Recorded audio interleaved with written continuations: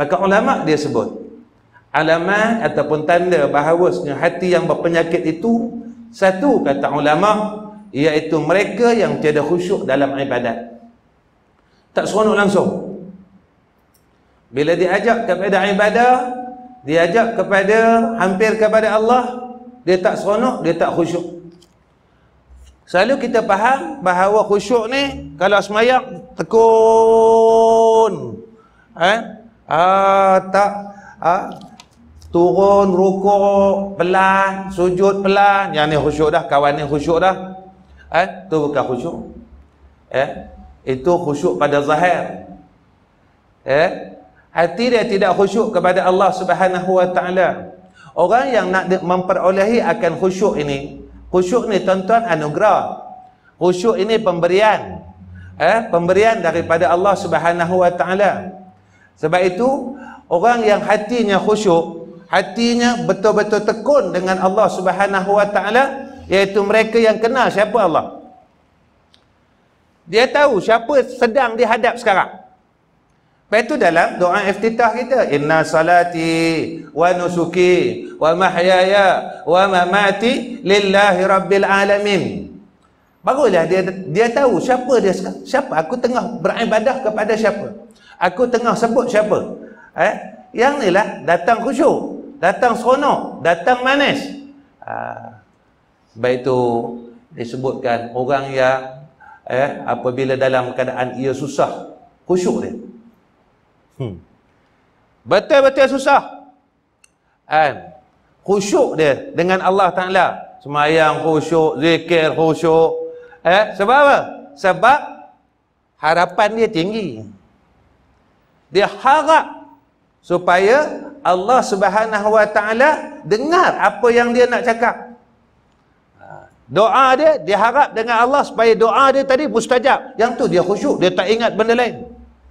Langsung dia tak ingat. Dia tak ingat siapa-siapa pun. Dia tak ingat orang sekeliling. Dia tak ingat harta dia. Dia tak ingat apa-apa pun. Semata-mata kepada Allah. Ini kata orang khusyuk. Eh? Ha. Tengok bulan ni. Bulan. Panggil bulan korban. Eh? Bulan korban. Banyak sangat orang cerita pasal korban ni. Ha? Tapi sekadar cerita lah. Ha? Sekadar cerita lah. Tahun depan sampai bulan korban orang cerita lagi. Eh dah. Eh, ni nak sampai pula Muharram. Cerita hijrah pula. Tapi tak hijrah-hijrah juga, lagu tu juga. Kan? Ha. Cerita sampai bulan korban. Dia tak korban juga. Kan? Dia tak korban juga. Dia tak tahu apa erti pengorbanan. Eh? Dia macam tu juga. Setiap tahun macam tu juga. Masuk buat hijrah, macam tu juga.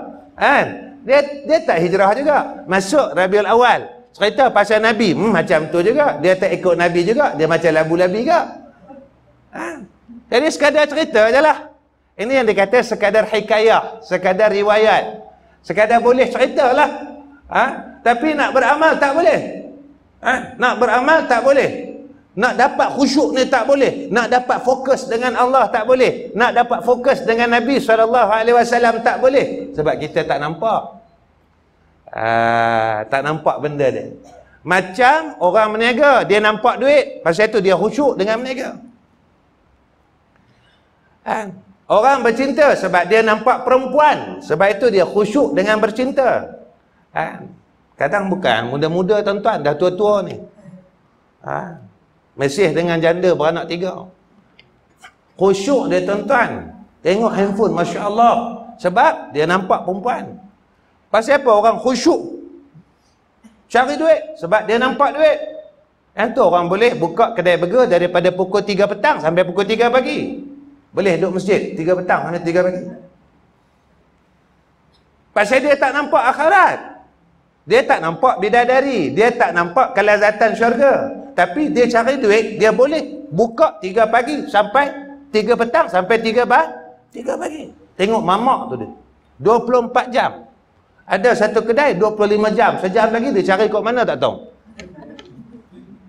Ha, restoran sekian-sekian buka 25 jam. Sejam lagi dia dapat kat mana? Wallahu alam. Planet mana? Wallahu alam. Eh? Sebab apa? Sebab nampak duit. Ha. Dia kata jangan tutup. Dia kata kalau tutup kita tak dapat duit. Khusyuk dia. Mandi pun tak, baju pun selemah tuan-tuan. Ha? Itu yang pertama.